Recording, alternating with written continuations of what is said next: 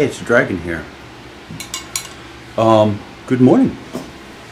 Good Wednesday morning. It's Wednesday morning because I'm sitting here in my studio chair and I'm not sitting over to the cathedral. That would be Tuesdays and Thursdays. So that's the way we keep track of days. Wait, we do it? Um, I think it's going to be a hot one. But anyhow, I've been busy tweaking on the bagpipes, uh, trying to get a reed up in shape. It's slowly coming back to me.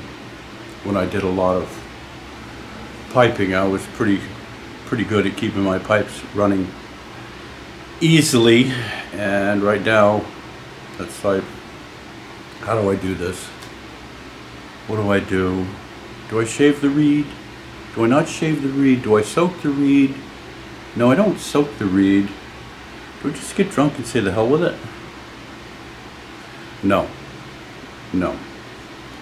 Make it drunk, you know, not say the hell with it. So, uh, running for parts for, well, actually strings for the nice little Gibson B20 that I just had worked on and got back. I was down to Buck Dances the other day and looking behind where the penny whistles are. Mostly it's a bunch of just uh, generation whistles and stuff, the English common whistle, which I've used a lot of. They're good whistles, uh, uh, don't get me wrong. And I looked at the bottom of the pile and in the bucket underneath, uh, you know, the fancy cardboard display that's been there for 30 years now, I guess. I don't know. Uh, I could see one dark fipple and that's all I could see of it. So it was like, Tim, what's the what's the dark fipple whistle? Um, and he went and, you know, got it for me. And what was, and they don't usually carry these, they must have got it as a sample or they bought, a, you know, two or three of them to try. And it's the little sweetheart uh, conical which is really kind of cool. It's like a sweetheart, sweet tone. Oh, it's not sweetheart. Sweetheart's a different whistle company. These are sweet tones. The original sweet tone. And i will have to, just for my own good, uh, I'll have to research that name and see if that was a company back along. But it's a subsidy of Clarke whistles which a while back um, we talked about my Clarke conical and the key Kia C that I bought. This was new old stock, so it was like back when uh, in the years where they were building these the best. And it's a real traditional, it's not a tube, it's rolled flat metal. And you know, it's got really nice bright work on it, which is, I've always enjoyed bright work like that. So the Sweetheart, Sweet Tone, not Sweetheart, Sweetheart's a different company, is the modern day adaptation of that whistle instead of, you know, the um, one piece and the metal fipple. This is the fipple up on this end. It's got a plastic fipple, but about the same gauge metal as this they've always used for the body. And as you can see, there's a seam back here. Now, it's not a tube, it's rolled. Now, when I first got this, I took it out into the Crusader Cruiser, and of course, you know, I ripped the plastic protective stuff off so I could play it, see what it sounded, because I've been curious about these whistles.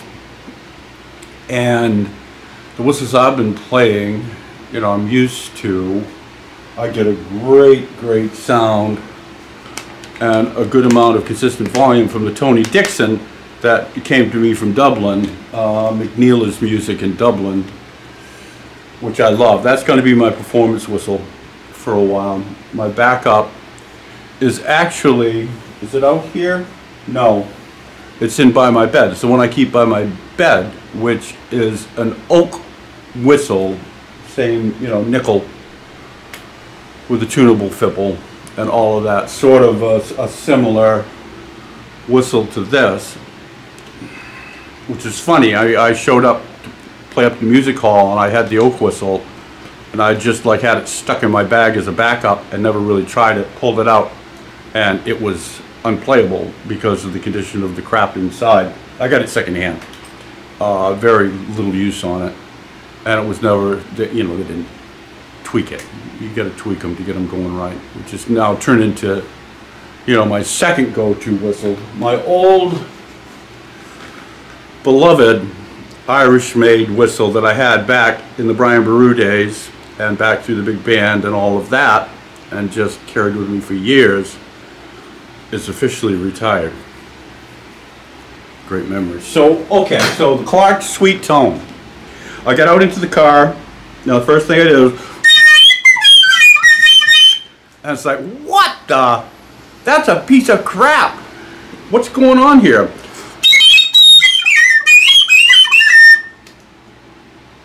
Thought a whistle is a bird call.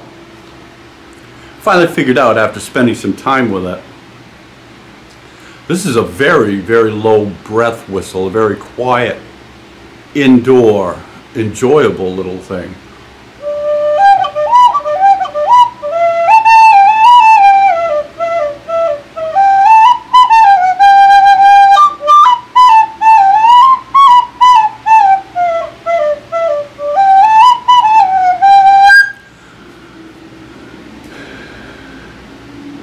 The sweet tone, the original sweet tone.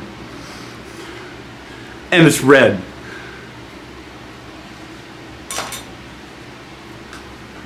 And that's a quick review of the Clarke Sweet Tone. A nice, little, quiet, fun conical whistle.